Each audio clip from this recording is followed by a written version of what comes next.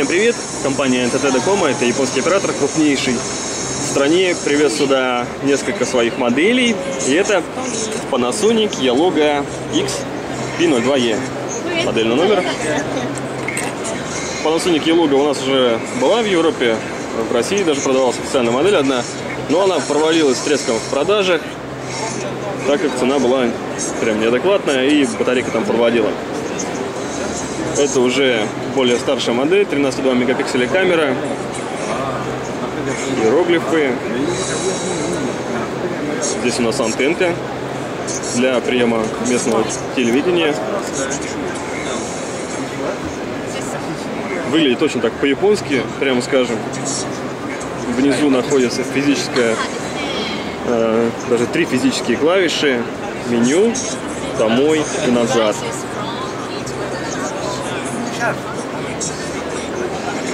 Вверху и внизу бортики. Если вы посмотрите поближе, то увидите. Вверху так выступает и внизу. На миллиметр, наверное, торчит. Клавиши, все блестит. В общем, не уверен я, что этот телефон пользовался бы спросом на российском, европейском рынке. А даже несмотря на его хорошие характеристики, все равно внешний вид имеет большое значение. И мы видим, что интерфейс подлагивает. Здесь нормально вот эти столы. А вот тут, где много виджетов, уже тормоза. Так, меню приложений. Чисто японское. Ничего не знаю, кроме сервисов Google. Музыка. Вот здесь ничего нет. Переключатели. Так. Дальше тут не работает. Настройки. На телефоне 4.1.2 Jelly Bean. Давайте перейдем к другому телефону. Это Aquasphone Zeta SH02E от компании Sharp. Это вот настоящий аквасфон, не то, что продается у нас в России. Э, это какой-то, я не знаю, что это. Тут какой-то веселый человечек общается с кем-то. Со мной, наверное, не знаю. А, вот, наверное, общение, возможно, с ним. Hello. Вот я с ним поздоровался. How are you?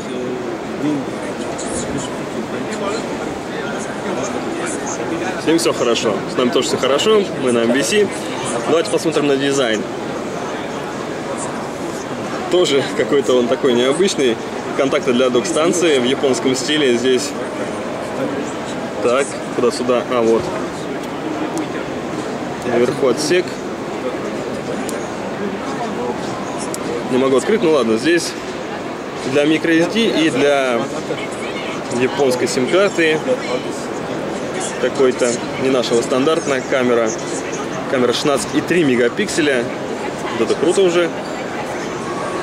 Вспышка. Телефон, судя по всему, водонепроницаемый. Все в заглушках. И это что такое? Знали бы, что это такое. Какая-то крутилка, я не знаю, что это. А? а, это вот, это стилус, оказывается.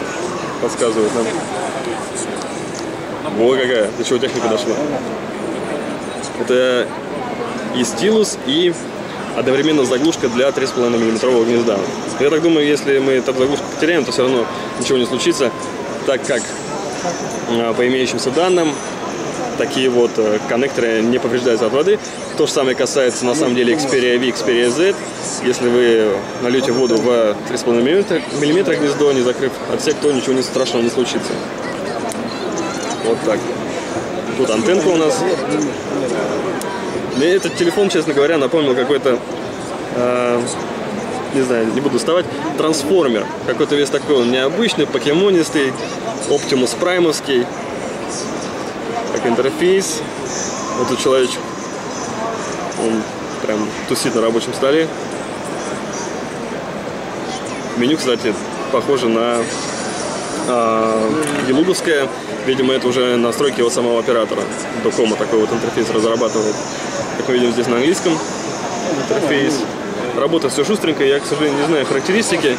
А, здесь на стенде они не представлены, но мы можем посмотреть на то, как выглядят чисто японские, а, настоящие японские телефоны, не то, что у нас пытались и пытаются продавать под маркой Sharp. Вот такой Sharp, честно говоря, я бы, наверное, даже и если не купил бы, но, по крайней мере, положил бы на него глаз. Давайте еще посмотрим на другие цветовые решения этой модели. Здесь их 5 штук. Мы видели полностью белый, это уже идет красный с черным. Красный такой под дерево, наверное, как будто лаком покрыто. Далее идет уже фиолетовый, синий вариант. Темный синий сзади. Под карбон что-то сделано.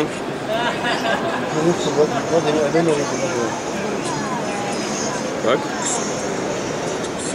Это такой же вариант, белый. И это... А, ну, значит, вот всего 30 решения. Еще хочу показать вам стенку. Она очень необычная. Э, здесь э, игры э, и различные сервисы от Docomo. Так, так, вниз, вниз опусти. Здесь находится телефон Aquasphone EX SH04 уже. Наверное, достать его не, нельзя, не получится. Ну ладно, далее планшет Medias от NEC Casio. У нас отдельное видео с ним есть, можете посмотреть. Фишка этого планшета в технологии Haptic, то есть он вибрирует весь полностью, целиком от игры, например. А на втором ряду находится SH01 Aquasphone Sharp. Что-то похож на Sony Xperia Neo, честно говоря. А, здесь Galaxy Tab, японская версия планшета от компании Samsung. На ней запущена, на нем а, запущена игра какая-то браузерная, кстати говоря. На третьем ряду Eros V, уже от Fujitsu смартфон. Далее Tales of Kizna. Серия Tales of очень популярна.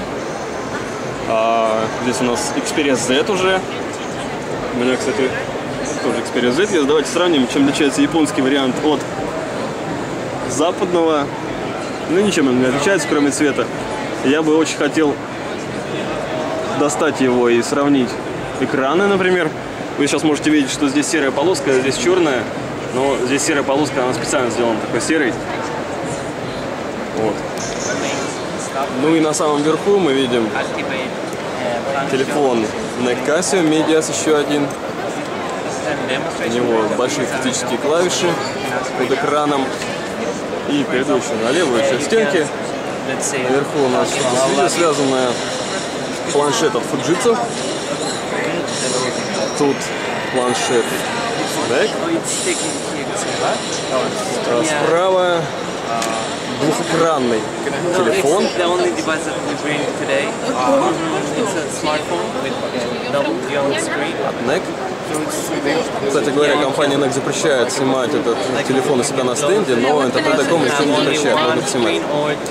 А самое классное находится на втором ряду. Здесь телефон от NEC в стиле. One Piece. Видим там и рядом планшет с э, картинкой за Наруто, Наруто. Но One Piece это наше все. uh, play the soccer game Он гораздо проще. activate one of the games. Please play the soccer game. Вот такой телефон. Манго. А это японская версия Xperia V. А X называется. The main portal from the game. Давайте еще раз я отойду и покажу, как этот красивый стенд выглядит со стороны. Docomo Marketplace. Вот мы здесь его вам показали. Интересный товар привезла компания сюда, в Барселону. Лично мне понравилось. Спасибо за внимание.